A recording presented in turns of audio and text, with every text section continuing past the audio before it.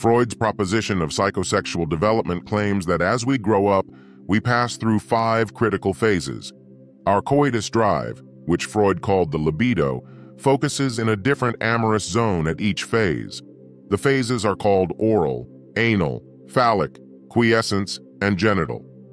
If our experience during any of these phases was traumatic, we might develop prepossessions laterally in life, similar as neurosis, dependences, dependences, or depression.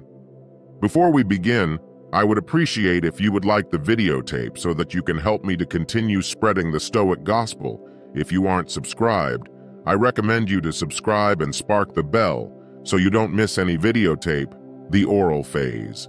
The oral phase, age 0 to 1. In the first time of our lives, we discover the world through our oral senses. Our main pleasure comes from stinking our mama's bone or a bottle. The conflict that occurs now is the weaning from our primary caregiver. Hans is weaned off his mama's bone without trauma. Ernst's mama stops feeding him within four months of birth, which is too early. Ida is frequently left alone crying when she's empty. Hans becomes a healthy and independent adult. Ernst suffers from trauma and develops an oral obsession. He tries to compensate for it by biting goo all the time. Ida spends her entire life looking for the oral stimulation she was denied as a child, and thus develops a manipulative and addicting personality. The anal phase, the A equal sign anal phase, age 1 to 3. The primary focus of our libido at this age is the control of the bladder and bowel movements. We've to learn how to use the restroom. Hans' parents praise his attempts to use the restroom and encourage him to learn at his own pace. Ernst's parents force restroom training on him too beforehand and discipline him for miscalculations. Ida's parents neglect any sweats at restroom training entirely. Hans develops a competent personality and a good and balanced relationship with authority. Ernst develops an anal forgetful personality. He becomes an over-controlling and stingy grown-up with nausea for his own body and a tendency to observe authority. Ida develops an anal, expulsive personality.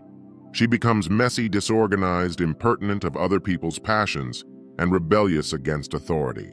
The phallic phase. The phallic phase, age 3 to 6. Our libido now turns to the genitals as we discover the differences between the womanish and the manly gender.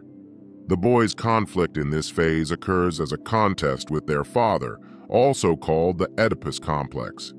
Ernst and Hans desire to retain their mama and visualize about getting relief of their father, but they know that their father is stronger and sweat being penalized for their desire. Freud called this castration anxiety. Ida jests penis envy. She believes that a penis is the key to power and domination, and also wants one.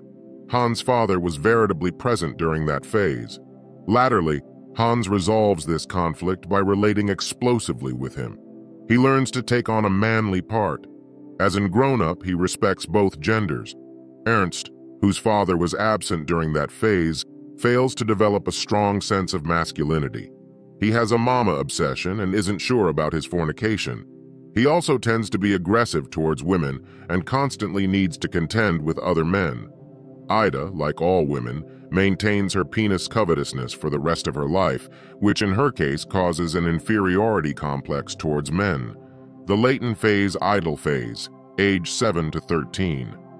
In this phase, our libido is suppressed as our sexual energy is being sublimed into developing life chops.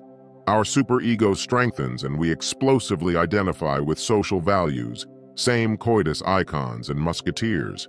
Hans follows numerous pursuits, Ernst loves learning at Academy, and Ida makes lots of new lady loves.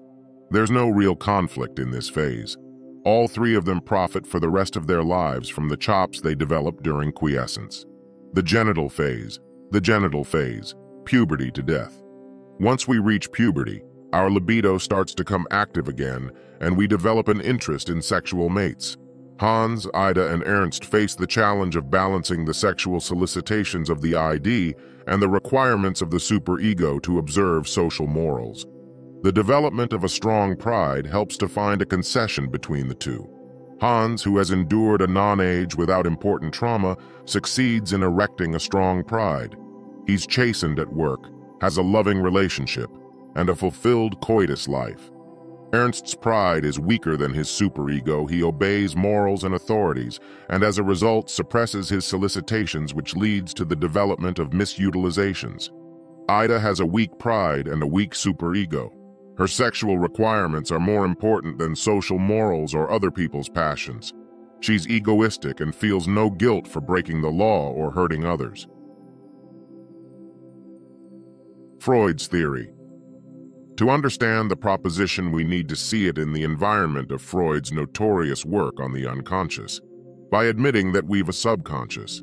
He also inferred that we store recollections of early non-age and other jests without indeed realizing it. These once jests also unconsciously impact our jest on a diurnal base. Freud claimed that our mind operates in three spheres, which we can imagine as a submarine. The unconscious. Position operates the ID. The preconscious position operates the superego. The conscious and preconscious situations operate our pride. Youthful children are driven by the id and demand immediate satisfaction.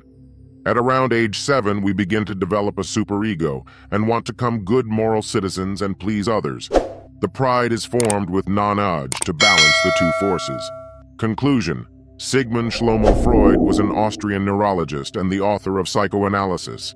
Freud theorized that the unconscious would flash back and store all our jests laterally.